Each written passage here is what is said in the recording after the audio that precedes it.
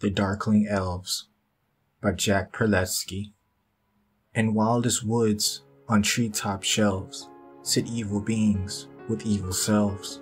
They are the dreaded Darkling Elves, and they are always hungry. In garish garb of capes and hoods, they wait and watch within their woods to peel your flesh and steal your goods, for they are always hungry. Through brightest days and darkest nights, these terrifying, tiny sprites await to strike and take their bites, for they are always hungry.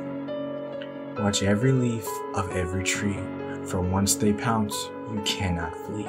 Their teeth are sharp as sharp can be, and they are always hungry.